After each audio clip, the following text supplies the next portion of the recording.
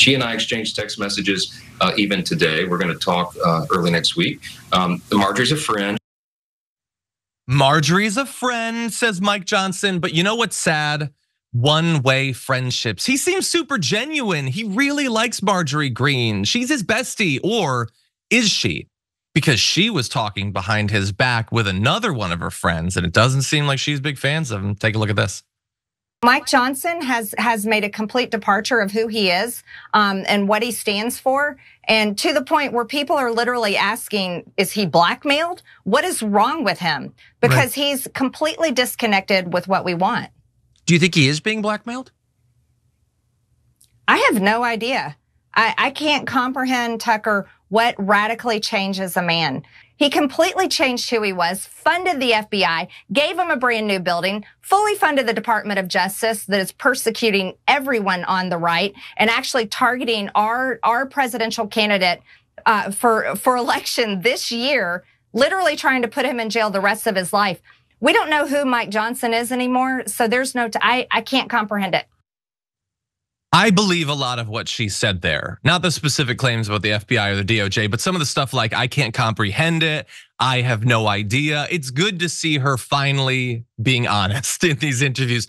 The only honest answer Marjorie Greene can give to a question interview is, I have no idea. And she should really stick to that more often. Before we continue with the story, we depend on members to keep on going. Don't wait. Click join now on YouTube. But what she said there is, uh, or what's really underlying what she's saying is that she's mad at Mike Johnson. So Mike Johnson is the speaker. Mike Johnson is being arguably exactly what an objective observer would expect him to be as speaker.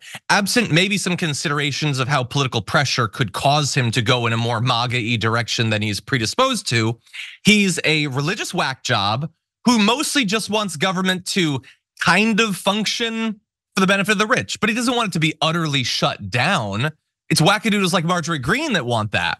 So she's not happy to say he's not the sort of speaker I want, or it would be great if we had, uh, you know, an extremist radical as speaker. She has to imply that he's changed, even though he doesn't appear to have, and she can't express how. All she has is a vague idea that he'll be black, that he's been blackmailed, and people are saying it. Which people? I don't know. She doesn't know. She doesn't cite any sources. She brings absolutely nothing to that wild accusation.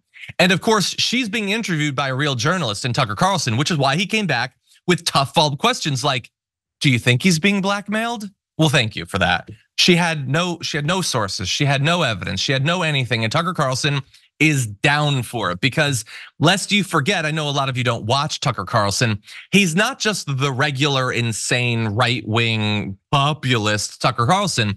He is and has been since 2000 an out and out conspiracy theorist.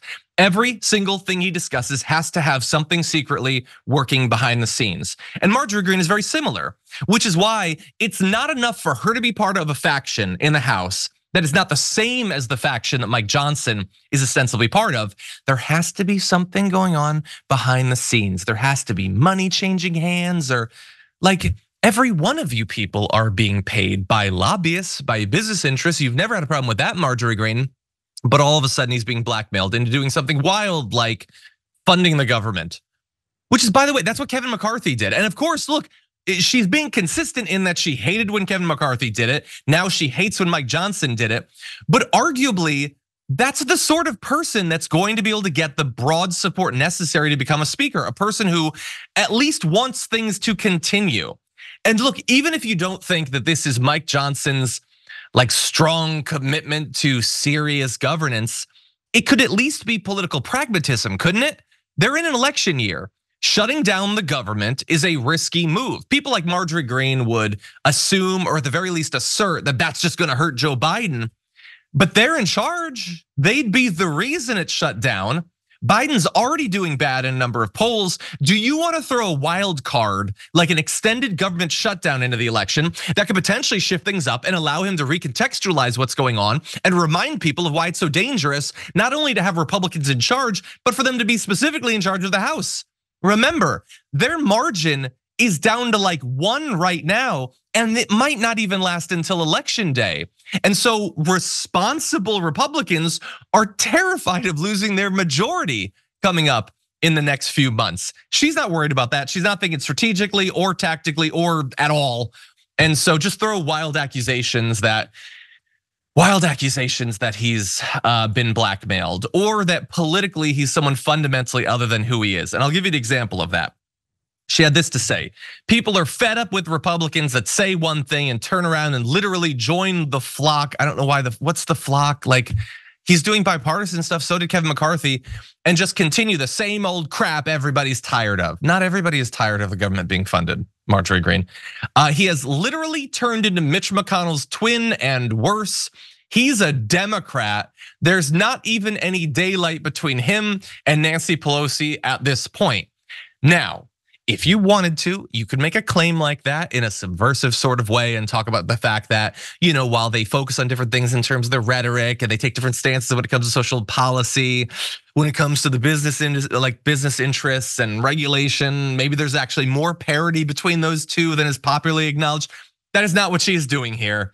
She's just claiming, well, I hate Nancy Pelosi and I don't like him, so they're the same. That's the best that you can hope from Marjorie Greene. Um, she's really into this. The comparison of him to whoever else she doesn't like, saying his Ukraine first agenda shows he's no different than Mitch McConnell. Ukraine first agenda, like he he put up so many roadblocks to the funding for Ukraine. Like you the idea is you gave it to him and we didn't get anything, but you could have gotten something. You could have gotten the border security bill that tons of whack job Republicans negotiated for the course of months. You didn't want that, Marjorie Greene, and Donald Trump didn't want that. That's not a problem of Mitch McConnell and Mike Johnson. That's a problem of you, and you should deal with it. But anyway, obviously, I enjoy mocking her, perhaps roasting her. I'm not the only one. You can see a lot of that on uh, the mainstream media as well. Here is Jake Tapper. We should note that Congressman Don Bacon, uh, who I don't know that I would call him a moderate, but he is certainly uh, sane. Uh, he's in his from a swing district in Nebraska. Mm-hmm. Framed the situation for Speaker Johnson like this: uh, "Quote: He's got a gun to his head right now, but we need to have a Churchill, not a Chamberlain, right now. He could be on the right side." Of history. I'm not sure that Marjorie Taylor Greene knows who Churchill or Chamberlain are, but those are that's a World War II allusion to standing up to Putin uh, in this case and Hitler back then.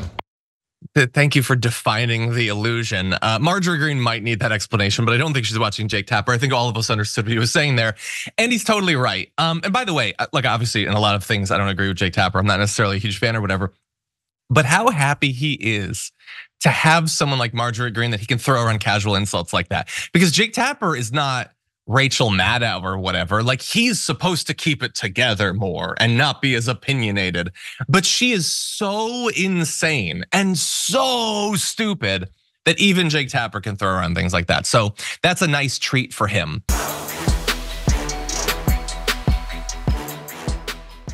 For more political news, breakdowns, interviews, stories of activism, and me trying my hardest to care about the occasional big celebrity news story, subscribe to our YouTube channel at youtube.com slash the damage report. And you can ring the bell wherever it is so you don't miss anything.